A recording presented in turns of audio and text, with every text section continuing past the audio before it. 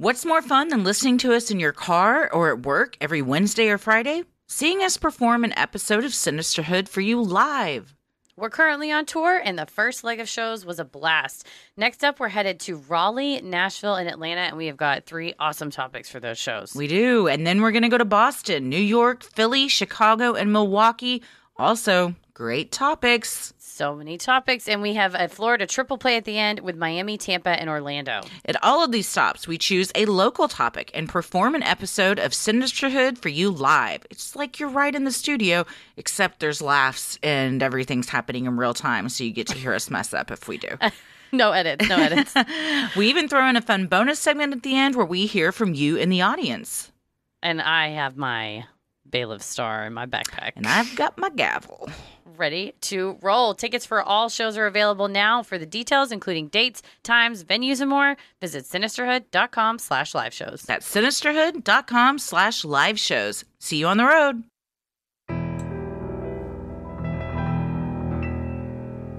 A bump in the night, your heart fills with dread. Probably a murderer who wants you dead. It could be a ghost, a demon, or worse. Perhaps you're the victim of a witch's curse. It's hopeless, you're doomed. You'd call a priest if you could. You'd rather just listen to who? Sinisterhood. I'm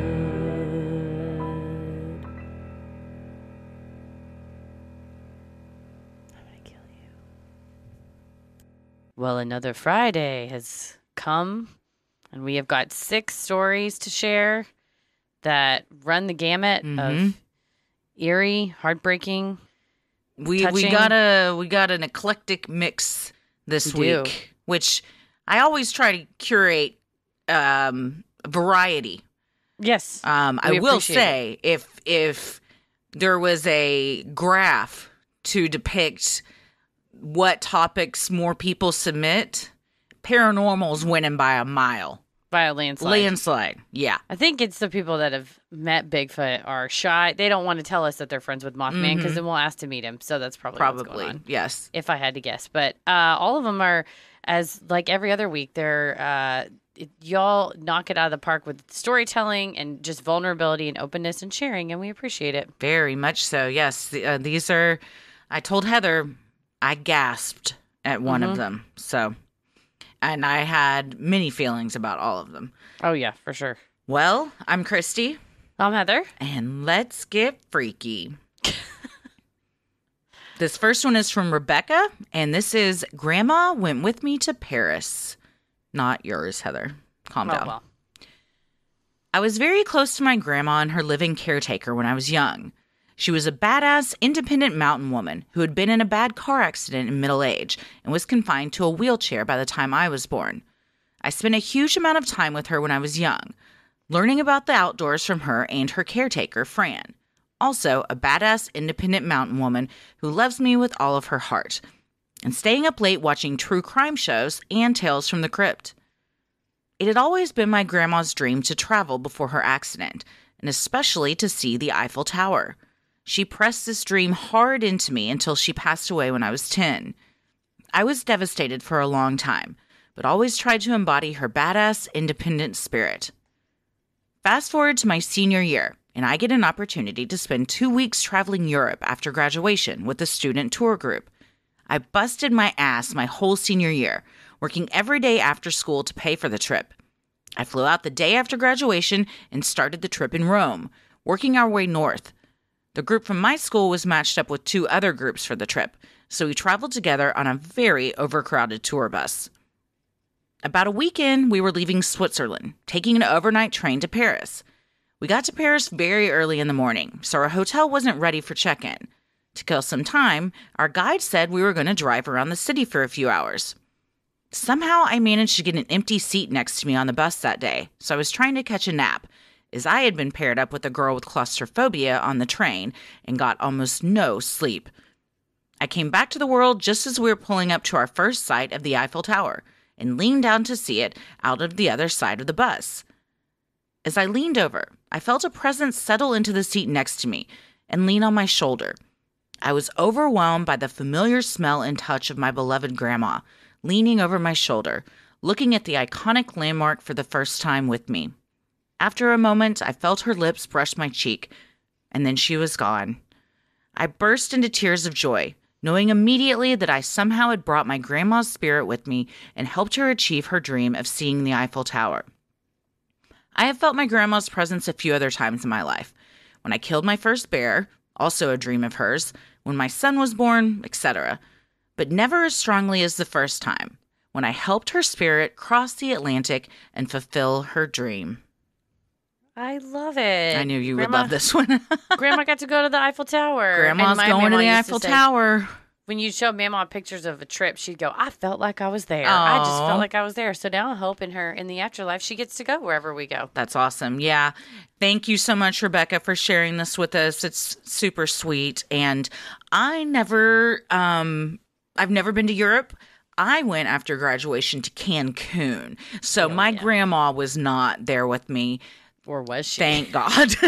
or was she? or maybe she was. She was probably, and I was too in Cancun to to hear any of the signs, to see anything.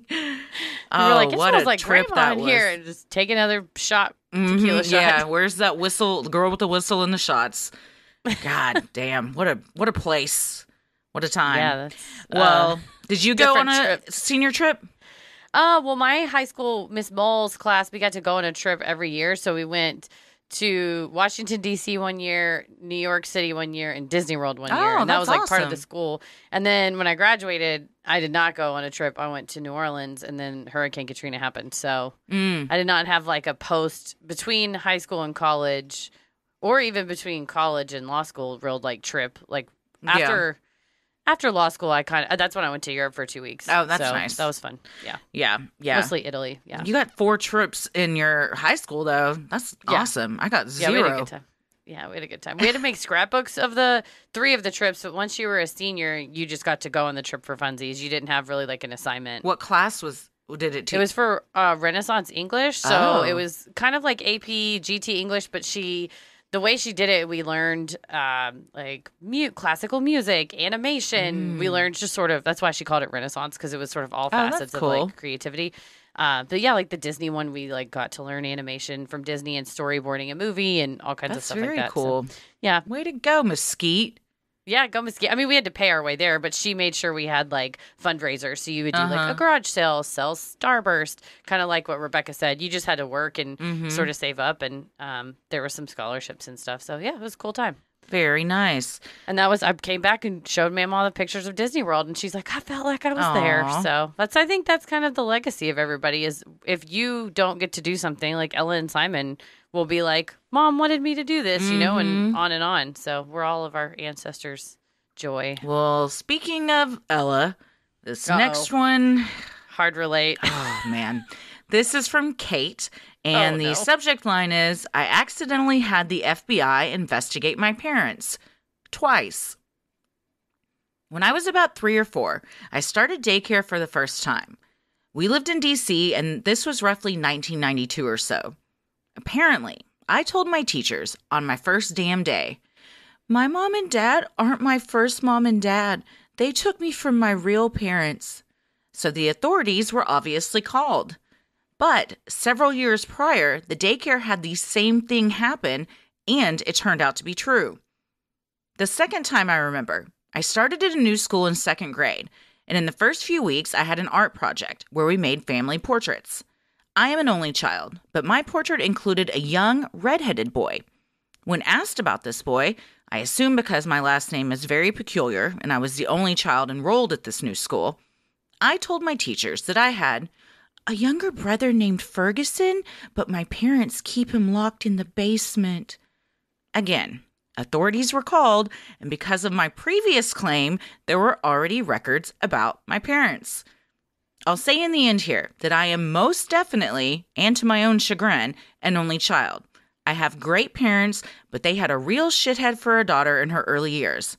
Love you, Mom. She listens. Man, three or four. Bless. I feel like this is uh, just a snapshot of what is to come. Uh, she also, Kate also included the Ferguson came from Clarissa Explains It All, which Yeah. I loved that show when I was That's younger.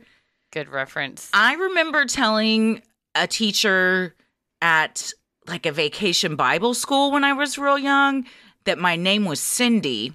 And so all of my artwork, they wrote Cindy on it. And then when my mom picked me up, she's like, Who is Cindy? And I was like, That's me. You're like it's my I alter think ego. I gave it up. But I don't. Why do kids do anything? Because to see if they can get away with it, to see if they can. Also, it's on that teacher for not remembering my damn name when they asked Yeah, they should have.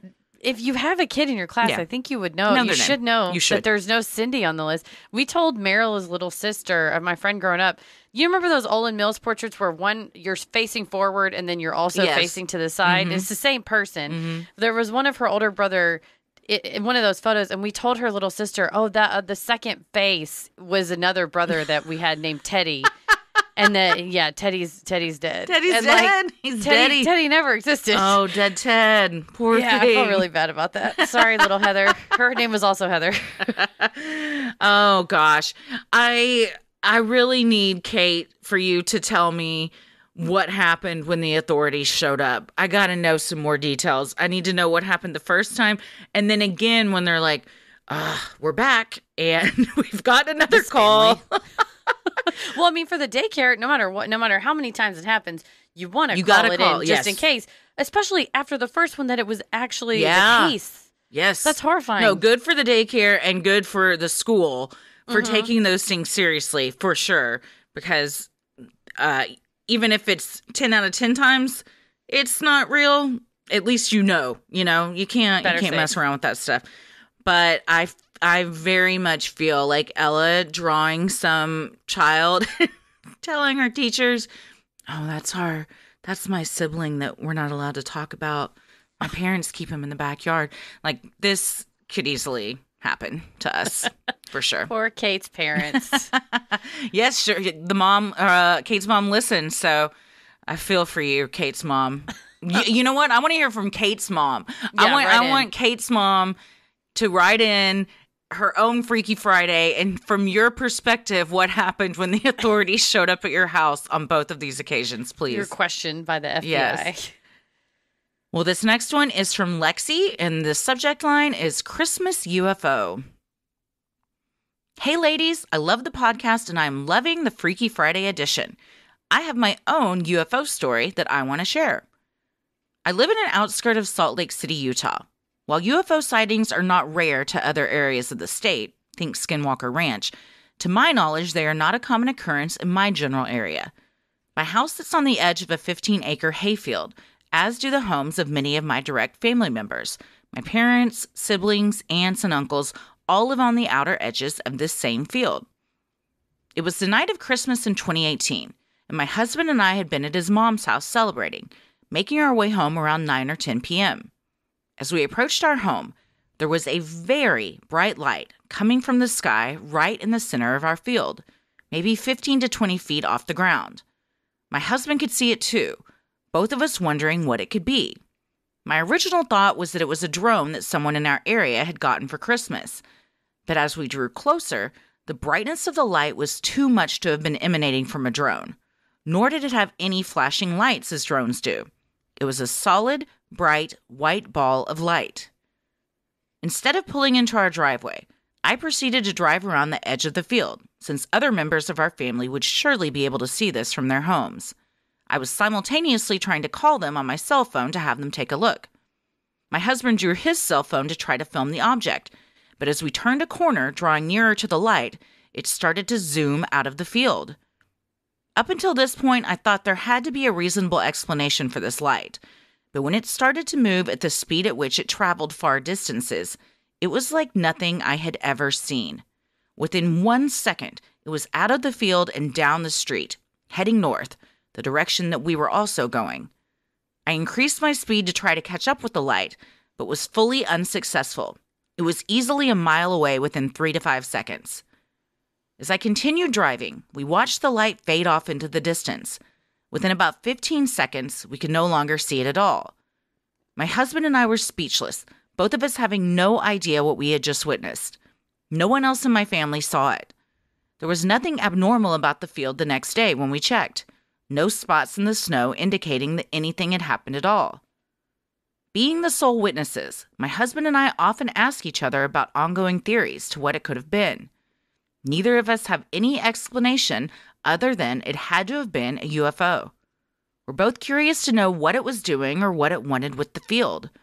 I am still hopeful that we will see it again, but nothing like this has happened since.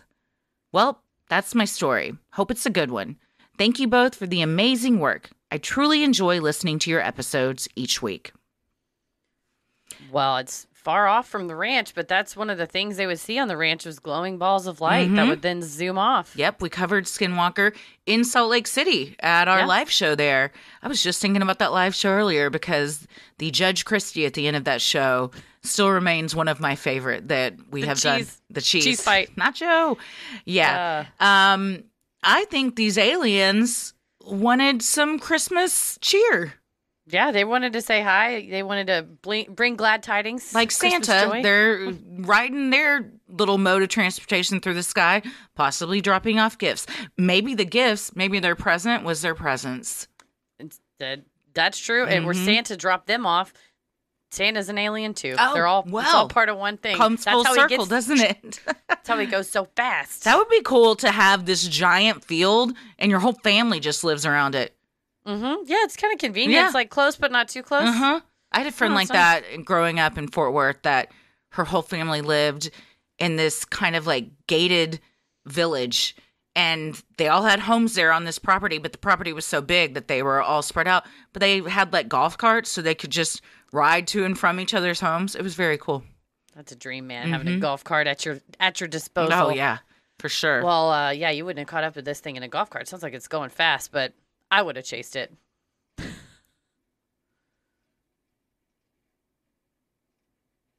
now we have our next email is from Cat W, and the subject line is "A ghost is better than a serial killer." Dear Heather and Christy, my husband and I love your podcast and have listened to almost every episode. When you started your Freaky Friday segment, I knew I needed to write in. I've included a few incidents that made us realize we aren't alone in our house. My husband and I lived on my dad's family's homestead in the country and raised our family. When our youngest finished high school, my husband, our 20 year old son, and I moved from the country where our nearest neighbors were a quarter mile away to a 1940s house in a town of about 53,000 plus people with houses all around us. Being a true crime buff, in addition to my fascination with the paranormal, I was obsessed with making sure our doors and windows were locked, often reminding my husband and son to lock the doors after themselves, saying serial killers like John Wayne Gacy and Richard Chase considered unlocked doors an invitation, and I don't want to invite any serial killers in this house. A few weeks after we moved in, my husband was working nights, and my son was spending the weekend with his girlfriend. I was home alone and fell asleep on the couch while watching TV. I woke up, and the door from the family room, where I was watching TV, to our garage was open about six inches. I thought I'd made sure all the doors were locked due to my slightly irrational fear of serial killers and unlocked doors, but thought maybe I was adapting to living in town and managed to miss locking the door since the door from the garage to the driveway was bolted shut from the inside. I locked the doorknob, put the chain on it, turned off the TV, and went to bed. My husband came home from work in the morning before I woke up. When I got up to greet him, he told me that when he got home, the door to our garage was open, and he was surprised that I would go to bed without checking it. Quote, in case John Wayne Gacy shows up. Chills went down my spine as I told him I had made sure the doorknob was locked and the chain was on it when I went to bed and why. We decided that denial was the best policy and pretended nothing strange had happened. Until a few days later, when I was home alone again and fell asleep watching TV. I woke to the noise of what sounded like the chain coming off the garage door lock. I froze in fear as I watched the knob turn and the door start to open all by itself. Somehow, my fear turned to anger, and I managed to sit up and shout at the top of my lungs, Stop it! You're freaking me out! Quit opening the damn door! The door promptly stopped moving and has never moved on its own since. We've been in our house three years now and have come to accept most of the activity in our house, except for when my husband had his ass grabbed while he was shaving his face in the bathroom after a shower and was wearing only a towel. Another incident happened last summer when my son couldn't find his car keys before work. He had searched everywhere and had even shaken out all the clothes in his laundry basket and the blankets on his bed. He was getting worried about being late to work, so I told him just to take my car. I was handing him my keys when we unmistakably heard the jingle of keys from his bedroom. We both stared at each other for a minute with creeped out expressions on our faces before my son went in his room and found his keys laying in the exact middle of the bed. He grabbed his keys and ran out the front door, exclaiming, Goddamn paranormal bullshit in this house, fucking ghosts. My reaction was more along the lines of, Thanks, invisible roomie. I guess I can handle the idea of ghosts in my house better than the idea of serial killers. Thanks for reading and keep it creepy. If I see a doorknob turn, I'm out. Yeah. I'm out for good. Maybe the movement of a door can sometimes be suction, you know, like some air or something, but the physical doorknob Mm. moving or the physical chain being lifted, mm-mm. it takes it takes dexterity to lift. I have a chain on my front door. It takes dexterity. You can't. That doesn't just fall off. Same with twisting a doorknob. If Yeah. a door just slams open or shut, I can, you know, make myself think, okay, well, it's probably just wind or whatever. But to see an actual doorknob turn, again, implies the ghost has hands Yeah, I don't like that, Mm-mm. and can and can interact. and but I do like. because it can take the uh, the thing right off the the latch right off. It's got pinching fingers and butt butt pinching. It was pinched Yes, this is a frisky ghost. Very frisky. Gosh, what if she hadn't yelled at it? What would have happened? Oh, that's true. Maybe it would have uh, opened the door the rest of the way, but I do like that it's being helpful and stopped opening the doors and has started helping find keys. Well, and respectful. Because if it was a malicious ghost, when she yelled for it to stop, that it it would have said "f off," this is my house, and kept doing what it was doing. Mhm. But it sounds like, oh, I'm sorry, I didn't know you were home. Let me close the garage door, and I'll go back to doing what I was doing. I'll go to back make my up for it, Stuff. here are your keys that I also took. That's right. It's a, it's better than a tile tracker. It's a ghost. mm-hmm. All right, the next one we have is called Crazy Coincidence, and it's from Case Not Casey. Hi, ladies. I'm a huge fan of the show and was really excited when this new segment came out. I debated about writing in because my experience isn't paranormal, but I feel like you might enjoy reading about it. I changed the names of my friend and his dad out of respect for my friend. First, a little background. When I was eight years old, my father was killed in a drunk driving accident. It was a really big deal at the time and was all over the news for a couple years while the case worked its way through the court system. I live in Michigan. My dad died in 1990. The 90s were the Wild West as far as drinking and driving was concerned. The man who killed my dad is a real piece of shit. I don't say this lightly. I like to believe that every person has some kind of redeeming quality about them. This guy does not. Before he killed my dad, he was convicted of drinking and driving eight previous times. He was actually awaiting sentencing on a couple of the charges when the accident happened. He didn't have a license, but he didn't let that stop him from taking his mom's car and heading out to get drunk.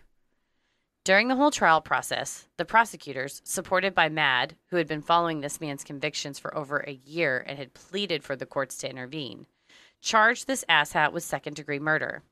This caused a lot of ruckus, and they had to have a hearing to see if it was to be allowed. The judge ended up ruling that intoxication does not equal intent, so he ended up getting manslaughter. Now, on to the coincidence. The driver of the other car was so wasted that he didn't realize he was driving on the wrong side of the highway for over two miles. He hit my dad head on, going 65 miles an hour. My dad's car pretty much exploded, and my dad died on impact. According to the police report, he woke up the next day at the hospital and asked if he really had killed someone. During this time, I was a third grader at an elementary school in Plainwell, Michigan. Shortly after the accident, my mother and stepfather purchased their first home together, and we moved to Allegan, a small town about 30 minutes west of Plainwell. Fast forward to the summer of 1999. I'm 17 years old, and I have my first job working at one of the few restaurants in town doing dishes. This restaurant was owned by my high school boyfriend's family. All of my friends worked there. I hung out there so much, they basically just handed me an ugly green apron and told me to get to work. So, this one night, we were slammed. My friend John and I ended up working late to finish up all the dishes. We were comparing notes on how badly our parents suck and were definitely out to ruin our lives.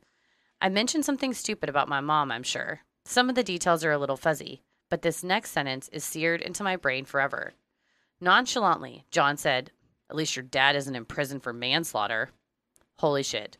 My stomach just fell out of my butt. I didn't know what to say for what felt like forever. Finally, I asked, Um, John, what's your dad's name? Jeff, why? Fuck. My heart was beating out of my chest. I didn't know how to put this delicately, so I just blurted out, Holy shit, John, your dad killed my dad. It seriously felt like time stood still. I've never experienced such an awkward, what the fuck moment before or since. Ladies, they do not make Hallmark cards for this particular occasion. So I stood there for a ridiculously long amount of time, staring stupidly at poor John, who was also dumbfounded and staring at me. What are the odds that he and I would become friends? Neither of us had lived in Allegan before the accident, but we both moved there around the same time. We ended up in the same school, had the same friends, and had the same job. These were a lot of coincidences to absorb. Typing all this out, I have to smile because it just seems so crazy. I honestly wouldn't believe it myself if I hadn't been the one to live it. Fun fact this worthless asshat was released about 20 years ago and has reoffended twice, that I know of. He is truly a waste of flesh. This is the one that I gasped Yeah. because when I was reading this, I thought that the guy that killed her dad was going to come into the restaurant. Mm-hmm. So I was, it was a twist that she was working with the son of him. But what I like is that it's sounds like they remained friends and she changed his name mm-hmm. out of respect for who she said is her friend. So she didn't hold something terrible that his dad did against him. Yeah, no, and I think that's you know he's suffering to the the kid is mm-hmm. an unint- is another yet another victim you know in a different way of having you know sure. your dad's now that there's a stigma on that you don't have a dad growing up you probably feel some ex, you know some extended guilt from that from what Mm-hmm. he did and everything so that is a very kind heart to remain friends and that's definitely just a holy shit moment where you're like you can't what even a small world. Yeah. Mhm. And the fact that, yeah, you weren't even from there and then you end up, I mean, that's the universe telling you you two can learn something from each other, maybe heal together or or Mhm. something, you know? Yeah It's um also eight times before you go to jail and then you get out and two more times. Um I don't even know what to say about that. the reoffense rate for DWI and DUI is pretty high, Mhm. and so you see in a lot of states. I think Texas it's three times, and the third time it's mandatory ten years because it's the reoffense rate is just pretty significant. So she said that they wanted to charge him with second degree murder, but that intoxication doesn't equal intent. hmm So can you ever be charged with anything other than manslaughter in a drunk driving case? Most states now, and Texas is included, you have intoxication manslaughter as its own charge mm. because you that's something that someone would try to relieve. Because to be convicted of murder, you have to have the actus reus, which is where you, the act of actually taking a life, but also the mens rea, like the mental mm-hmm. state of intending to kill someone or behaving so recklessly. And people would say, "Well, I didn't know I was behaving recklessly because I was so drunk." that I, mm-hmm. so you try to you would try to mitigate the responsibility and so m- most states MADD is one of the reasons why and like a lot of states like MADD would get with federal the federal highway commission and say like don't give highway funds to states that don't pass these kind of laws to try to like control the, the law passage with like the purse strings um, and say make it its own offense make intoxication's not an excuse make it have these sentencing guidelines and things like that so What if you? This is just a, a scenario. What if you were at a bar and you overheard someone say, "I'm gonna get super drunk tonight and then go drive my car, and I don't care what happens," or "I I'm gonna I hope that I kill someone." Then could you charge them with murder? I think well, you you know, if somebody is drunk and in a fight, for instance, and gets in their car and then drives directly towards a person like, "Oh, I'm going to kill that guy I was just in a fight mm-hmm. with," then absolutely, yeah, that's still murder. I mean, you're acting with the intent to take a life. But if it and I think if you had uh, evidence that someone said that of like, "I think I feel like killing tonight," or like, you know, something like that. I'm just gonna drive around and see what happens, and I don't Yes, care if anybody loses their life. And I think the intoxication manslaughter laws are intended for people who are just driving home drunk and fall asleep or pass out or whatever, versus that having that intent Yeah. where you would have that intent, you would charge accordingly, I think. Well, thank you, Case, for sharing that with us. Definitely. This last one is from Sarah V. And the subject line is My friend was murdered and came to visit. 10 years ago, my friend was brutally murdered by her ex girlfriend and the ex's new girlfriend. Because of her age and the brutality of it, there have been several documentaries on the case. I have been in three, with her mother's blessing. It's a really awful and painful case, but I think Sinisterhood would cover it well and would love to hear Heather's legal input slash clarification. Brandy was lured out to the middle of the woods, beaten, waterboarded, and buried alive. I, for good reason, could not wrap my mind around the events. I found closure via dreams about Brandy. While it could be a coincidence and my brain looking for healing, I choose to believe they're Brandy making an effort to comfort me. This past weekend, I traveled to Brandy's hometown to do an interview for a big streaming service. In the interview, I referenced a song I remember her singing, but couldn't recall the name. It was a song that stuck with me because the lyrics were pretty, we were driving to an animal shelter to pet cats, and the sun was out. Just a beautiful day and moment that lives in my head when I think about Brandy. Once the recording was done, I was exhausted and made the three hour trip back home.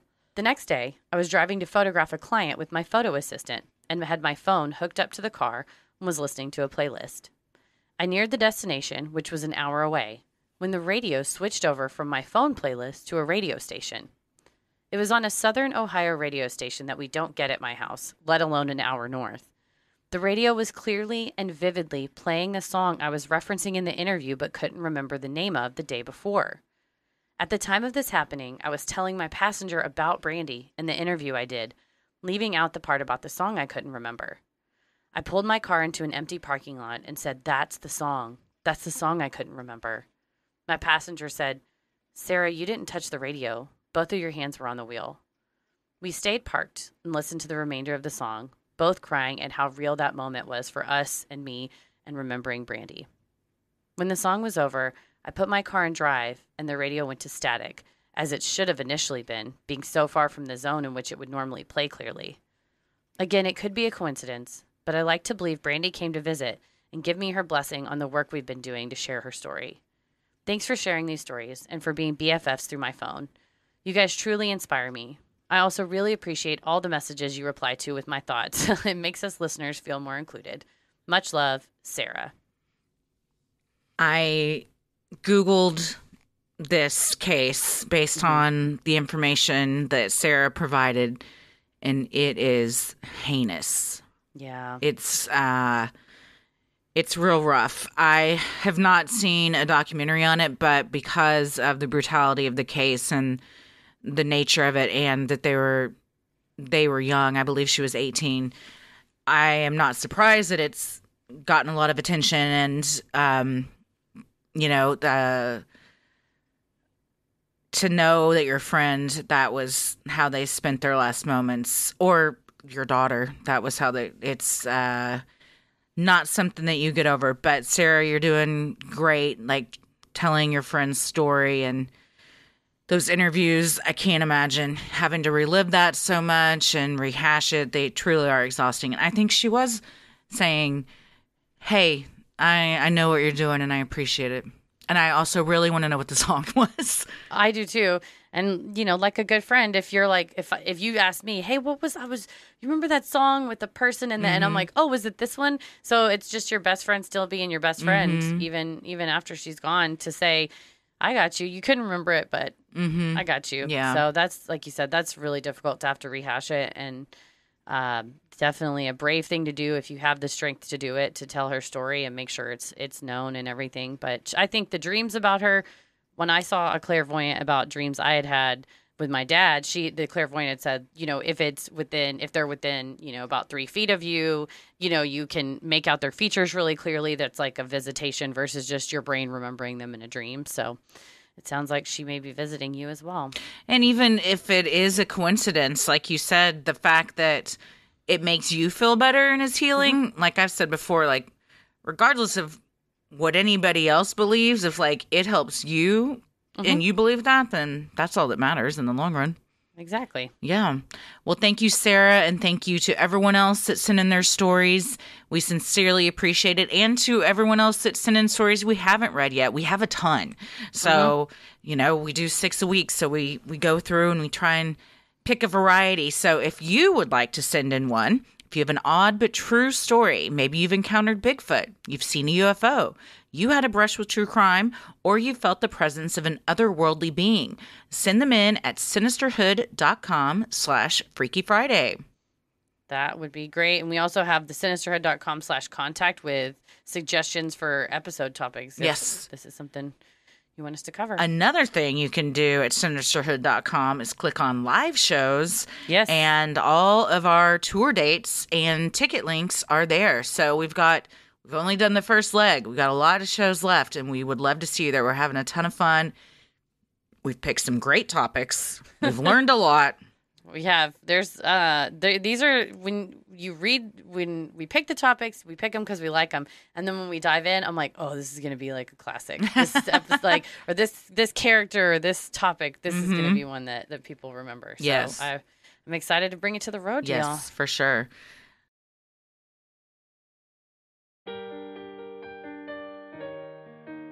We love providing Sinisterhood to you at no cost, so if you like what you hear, consider supporting the show by donating to our Patreon. We're a small operation, creating the show for you by researching, writing, recording, and producing it ourselves. Any amount is sincerely appreciated and helps offset the cost of making and hosting the show. As a thank you, you'll also get some sweet perks like ad free episodes, a Sinisterhood sticker, membership to our exclusive Patreon Facebook group for those enrolling the airwaves and getting into it tier, a special shout out on the show, a monthly bonus minisode. This month's is an update on the Rodney Reed case, and patron exclusive video and audio content, including Am I the Asshole, Relationship Advice, Judge Christy, Dear Sinister, True Crime Headlines, and more. You also have the fun perk of access to our Discord server, where you can connect with other fans in real time and discuss the latest in true crime, share personal ghost stories, or just post adorable pictures of your pets. We hop on occasionally, and we host monthly Q&As on Crowdcast, where you can ask us all your burning questions. And for patrons not in the US, you have the option of paying pounds or euros, saving you the cost of the conversion fee. Annual memberships for all tiers are also now available, and those that select this option will be rewarded with a free month of membership. For more details on all of this and specific member tiers, visit sinisterhood.com and click Patreon on the top banner. So many of you have been tagging us in pictures of you sporting your sweet Sinisterhood merch. Keep those pictures coming. And if you want some cool Sinisterhood swag like t shirts, mugs, totes, and even clothes for your kiddos, visit sinisterhood.com and click shop on the top banner. The best thing you can do to help us grow is like, review, and follow on Apple Podcasts, Spotify, or wherever you listen to your podcast. And please tell a friend who you think would like us to check us out. You can also just click those three little dots at the top of any episode and share it with them. If you think they'd like something that you heard today, just go ahead and share it. It means so much to us and really helps podcasts like us get more exposure. You can follow us on Instagram and Twitter at Sinisterhood Pod and like us on Facebook and at Sinisterhood as well as TikTok and YouTube. Christy, where are you at? I am on Twitter and TikTok at Christy or GTFO, and I am on Instagram at Christy M. Wallace. Heather? I'm on Twitter at MCK versus the world and on TikTok and Instagram at Heather versus the world. As always, the devil rules the airwaves. Keep it creepy.